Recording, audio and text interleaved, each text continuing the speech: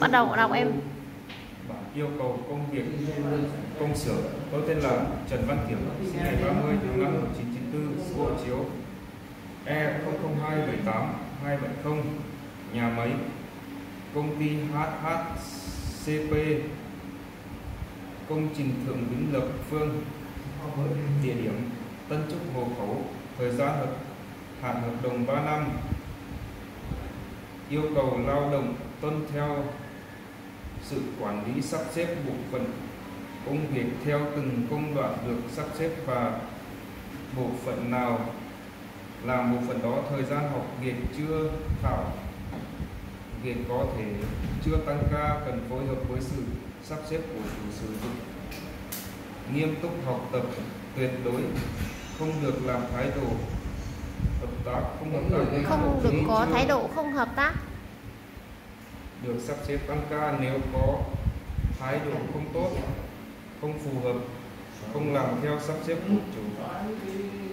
Cho tăng ca và có thể chấm dứt hợp đồng. Vì vậy vì vậy cần yêu cầu lao động nỗ lực ngoan ngoãn, phối hợp thật tốt.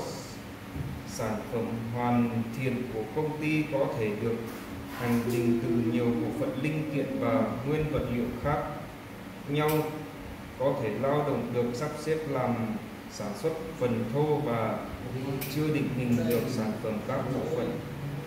Sau lao động cần phải hiểu rõ từng sản phẩm, linh kiện, nguyên liệu của công ty để tránh phát sinh những vấn đề hiểu sai và công việc trong thời gian thử việc 3 tháng đầu khi chưa hiểu sản phẩm công ty không được không được thắc mắc hiểu sai công việc hiểu sai hay kiện tụng.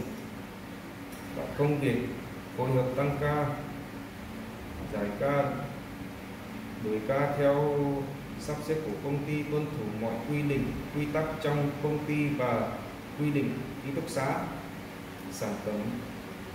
Gia công cơ khí kim loại, biết hàn hoặc có thể phối hợp, học hàn, mô tả công việc gia công kim loại thao tác máy chế tạo lắp đặt thỉnh thoảng phối hợp ra ngoài không sợ độ cao số giờ tăng ca 1 đến 2 giờ trên ngày cộng thứ bảy môi trường làm việc công xưởng thỉnh thoảng ra ngoài lắp đặt mức lương cơ bản 26.400 Nhân Phí. Ờ. phí ăn ở không trừ tiền ăn ở 25.000 2.500 2.500 500 nhân dân tệ. nhân dân tệ chủ hỗ trợ 4.500 nhân dân tệ ăn uống tự túc hoặc công ty đặt cơm 50 nhân dân tệ trên suất dự kiến ngày xuất cảnh 2023 Tôi đã đọc rõ hiểu. hình thức tuyển chọn gửi form tôi đã đọc hiểu rõ nội dung của công việc. Khi sang Đài Loan tôi làm việc tôi đồng ý ký vào bản công việc và không có bất kỳ ý kiến thắc mắc. Và điều kiện gì? Tôi cam đoan Và sẽ kiện cáo gì? và kiện cáo gì? Tôi cam đoan sẽ hết hợp đồng như đã ký tuyệt đối sẽ không phá phá hợp đồng về nước hoặc xin chuyển chủ vì bất kỳ lý do gì nếu tôi xin chuyển chủ, tôi sẽ không nhận lại được bất kỳ phí nào từ môi giới và bồi thường chi phí làm giấy tờ chủ sử dụng.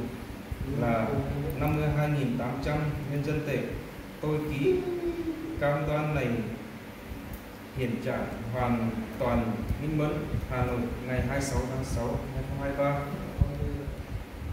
có và tên Kiểm Trần Văn Kiểm Em đã đọc rõ và hiểu được nội dung bản công việc em sang đó làm công việc gì chưa? dạ công việc em sang là gia công kim loại phát tác máy. Gia công kim loại và có hàn xì không? à, Em bản chất em có biết hàn không?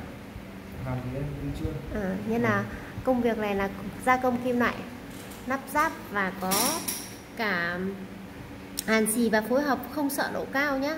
Vâng. nhiều khi phải ra ngoài lắp đặt. Nên là sang bên kia em phối hợp theo sự sắp xếp của chủ sử dụng nhé. Mà cái đơn hàng này là chủ cho tiền là tiền hỗ trợ là trợ cấp là bốn nghìn rưỡi. Nên là sang là mọi người cần học việc và phối hợp nhá.